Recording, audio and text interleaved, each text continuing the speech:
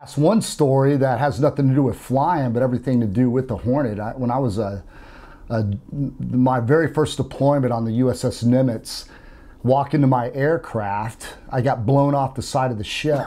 No way. Yeah, yeah. Me and my plane captain both walk into our uh, an F-14 was in the wire taxiing in the you know, and you usually you know you walk behind airplanes, you know, and you kind of get used to it. You lean into the, the exhaust and duck down and kind of and tuck through. You get a little system going how you do it. But he was uh, taxiing over the four wire. It was just just poor timing. I, I was walking behind him when he came up on the power to get over the wire because it's like a speed bump.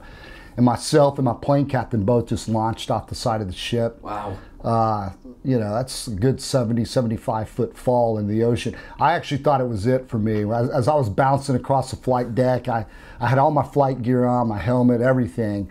And I, I had my uh, helmet bag uh, and I just threw it, you know, and I was trying to like my claw, my like my hands are going to be able to dig into the uh, carrier flight deck, you know, I'm, I'm, you know, like a cat probably.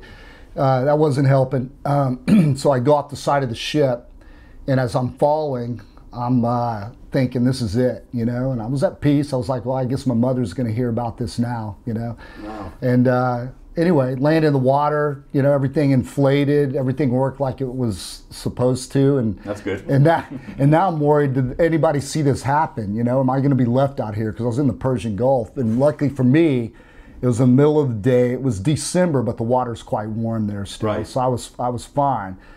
And then uh, I thought I was alone, and then I realized my plane captain was next to me, and uh, so we we kind of held on to each other, and the helicopter came and got us, and now it was the embarrassment. I was gonna say, you know, was now we lot feel shame. when you got back on oh, board? Yeah. I felt shame. I remember being on the helicopter, and and they're like. Uh, they're like uh, asked me what my name was and then they're calling back to the ship and so all my friends are all the jets were turning on the deck because it was operation southern watch flight of the month so every plane was turning Right. and so they're all up on the tower freak and they hear this like oh it's we got a like, oh. we got Tim, Captain Tim Golden, and, and oh, everybody's like, you know, they're laughing. So, so I say, hey, they, they bring stretchers up and want to carry us off the airplane, and I'm like, no, that's not going to happen. I'm gonna walk off this. No, I couldn't. I stepped on. I realized I'd broken my leg. I didn't Oh. realize it till I got off. Really? And put weight on it because all the adrenaline and the kind of honestly, I was pissed off. This happened to me, you know, and. Uh,